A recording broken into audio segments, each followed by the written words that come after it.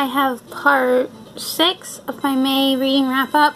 This doesn't have as many books in it as I normally put try to put in them, but um, our library's been closed for Memorial Day, and unlike the other libraries in the area in the system, they didn't just close on Monday, they closed on Saturday and Tuesday, which is today, as well. Um, so I'm trying to get everything returned because I'm to have a ridiculously large pile coming in tomorrow when they reopen. Um, if you hear squealing in the background, that is River, my six-month-old, and if you hear video game noises, that is my husband playing, what are you playing? Mega Man 4. Mega Man 4. So I'm just going to jump into this. I, um, I'm trying to not do spoilers, but there might be some, um, the, these are all graphic novels, so if they're, like, not the first or last volume in a series, then I probably won't say much about them. So, yeah, I'm just going to jump into it. The first one is The Backstagers, Volume 1, uh, Rebels Without Applause by James Tynion IV. Um, I gave this a 4 stars. I really, really loved it. It's about this all-boys school, and it's the the kids that work backstage but backstage is like this magical labyrinth and the hallways move and it's just it's really really good. I really enjoyed this. I'm really looking forward to the next one. Um, this was amazing. If you're the only issue I had was they said something about duct tape one time instead of gaff tape. But other than that it was amazing. If you're in a theater at all or this sounds remotely interesting I highly recommend it. Um, then the next thing I read was uh, I did put this on here. Okay, thank you. Um, Hawkeye Volume 2 Little Hits by Matt Fraction. I gave this three stars. It was okay. I liked it better than the first one. It didn't annoy me as much as the first one, but it was just meh. Not totally my thing.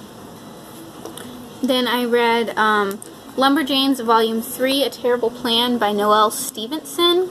I gave this one three stars.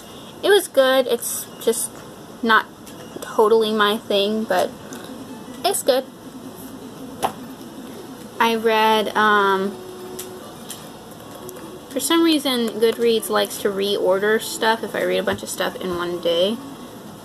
Um, so I read Locke and Key Volume 1, Welcome to Lovecraft by Joe Hill. I give this four stars. This is really, really good. It's, um, it's about these kids and their dad gets killed and then they move in with their uncle to this house that their uncle and their dad grew up in. And there's all these keys and like you turn a key in the lock and it'll do a thing. So like there's one key that changes your gender. There's one key that you go through it and you die and you can be a ghost and then you, your ghost goes back through it and you're alive again. There's one that will take you anywhere you want.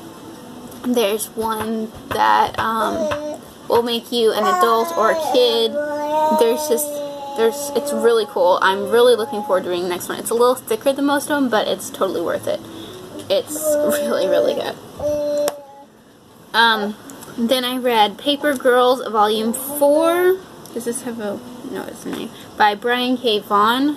I gave this 4 stars. This is really good. I'm enjoying this series. Um, Alex is reading this too, but he's still in the middle of this volume. Um, but, yeah, if you like um, Stranger Things, I would recommend this series. It's similar, not exactly the same, but it has similar aspects, and especially the first volume really makes me think of Stranger Things. So, Alex says it's a lot weirder.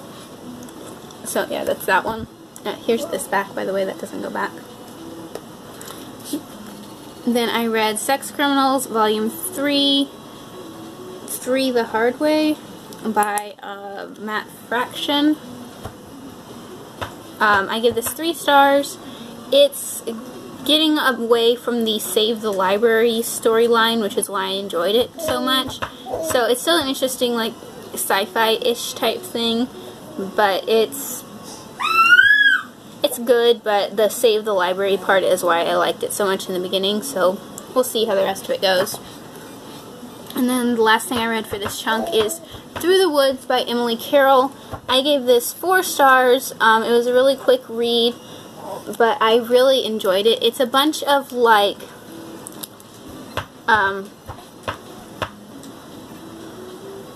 like little creepy fairy tale type things, but they're not really fairy tales. They're things she came up with, but there's these little creepy stories. They're little short one-offs, and there's a whole bunch of them in here. It's really good. I don't know a better way to describe it, but I really enjoyed it. And um, if you've been interested in it, or that sounds really interesting, even though it's a terrible description, I would totally recommend it. So I really enjoyed that. That's everything for this chunk. Um, which gets me down to about three things checked out from the regular library, plus Alex has one checked out. So, I um, hopefully won't get too many in tomorrow, but we'll see. Um, if you guys are ever interested in me doing library hauls, let me know. I usually don't bother because I go to the library like every day and just pick up and return. But um, is that No, something? you don't. I go to the library to do your pickups and returns. If that's something you're interested in seeing, uh, let me know. And if you wanted to talk about, discuss, ask questions about any of these books I mentioned, uh, leave those in the comments. I'd love to talk to you guys about them. Don't forget to subscribe, and I'll see you guys next time. Bye.